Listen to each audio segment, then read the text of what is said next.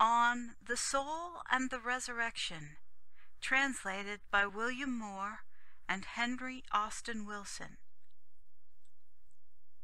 Basil, great among the saints, had departed from this life to God, and the impulse to mourn for him was shared by all the churches. But his sister, the teacher, was still living, and so I journeyed to her, yearning for an interchange of sympathy over the loss of her brother. My soul was truly sorrow stricken by this grievous blow, and I sought for one who could feel it equally, to mingle my tears with. But when we were in each other's presence, the sight of the teacher awakened all my pain, for she too was lying in a state of prostration, even unto death. Well, she gave in to me for a while, like a skilful driver, in the ungovernable violence of my grief. And then she tried to check me by speaking, and to correct with the curb of her reasonings the disorder of my soul. She quoted the Apostle's words about the duty of not being grieved for them that sleep, because only men without hope have such feelings. With a heart still fermenting with my pain, I asked, How can that ever be practiced by mankind? There is such an instinctive and deep-seated abhorrence of death in every one. Those who look on a deathbed can hardly bear the sight, and those whom death approaches recoil from him all they can. Why, even the law that controls us puts death highest on the list of crimes and highest on the list of punishments. By what device, then, can we bring ourselves to regard as nothing a departure from life, even in the case of a stranger, not to mention that of relations, when so be they cease to live? We see before us the whole course of human life, aiming at this one thing how we may continue in this life. Indeed, it is for this that houses have been invented for us to live in, in order that our bodies may not be prostrated in their environment by cold or heat. Agriculture, again, what is it but the providing of our sustenance? In fact, all thought about how we are to go on living is occasioned by the fear of dying. Why is medicine so honored among men? Because it is thought to carry on the combat with death, to a certain extent, by its methods. Why do we have corslets and long shields and greaves and helmets and all the defensive armor, and enclosures of fortifications and iron-barred gates, except that we fear to die?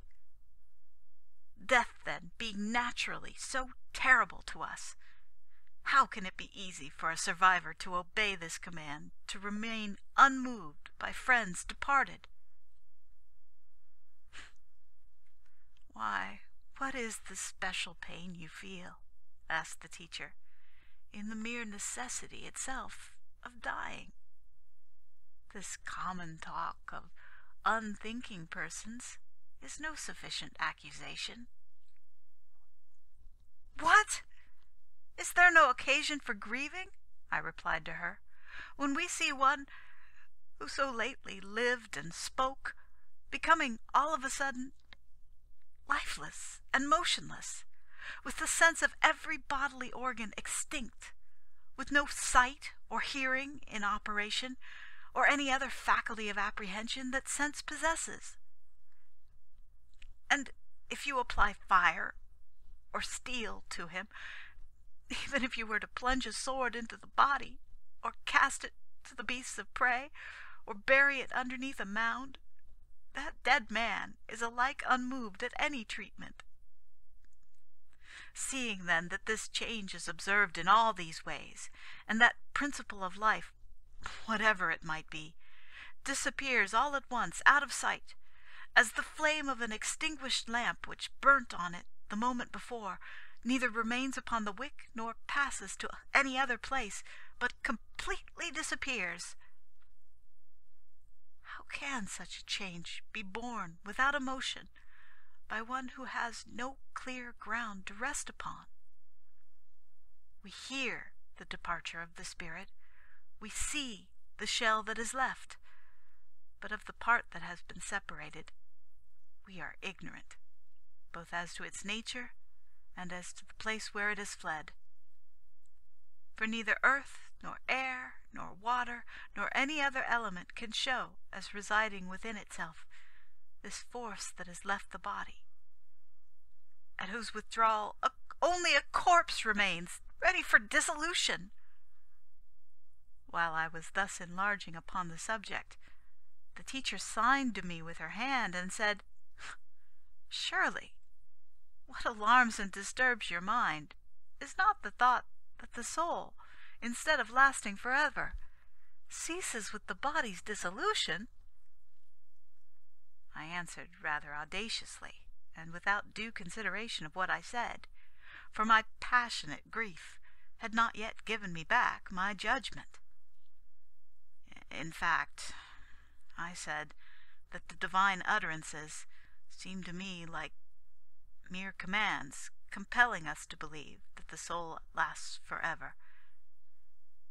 Not, however, that we were led by them to this belief by any reasoning. Our mind within us appears slavishly to accept the opinion enforced, but not to acquiesce with a spontaneous impulse. Hence, our sorrow over the departed is all the more grievous. We do not exactly know whether this vivifying principle is anything by itself, where it is, how it is, whether in fact it exists in any way at all anywhere. This uncertainty about the real state of the case balances the opinions on either side. Many adopt the one view, many the other. And indeed, there are certain persons of no small philosophical reputation among the Greeks, who have held and maintained this which I have just said. Away, she cried, with that pagan nonsense! For therein the inventor of lies fabricates only false theories to harm the truth. Observe this and nothing else that such a view about the soul amounts to nothing less than the abandonment of virtue, and seeking the pleasure of the moment only. The life of eternity, by which alone virtue claims the advantage, must be despaired of. And pray how, I asked, are we to get a firm and unmovable belief in the soul's continuance? I too am sensible of the fact that human life will be bereft of the most beautiful ornament which life has to give, I mean virtue, unless an undoubting confidence with regard to this be established within us. What indeed does virtue have to stand upon in the case of those persons who conceive of this present life as the limit of their existence? and who hope for nothing beyond. Well, replied the teacher, we must seek where we may get a beginning for our discussion upon this point. And if you please, let the defense of the opposing views be undertaken by yourself. For I see that your mind is a little inclined to accept such a brief. Then, after the conflicting belief has been stated, we shall be able to look for the truth. When she made this request, and I had deprecated the suspicion that I was making the objections in real earnest, instead of only wishing to get a firm ground for the belief about the soul, by calling into court first what is aimed against this view, I began. End of part one of On the Soul and the Resurrection.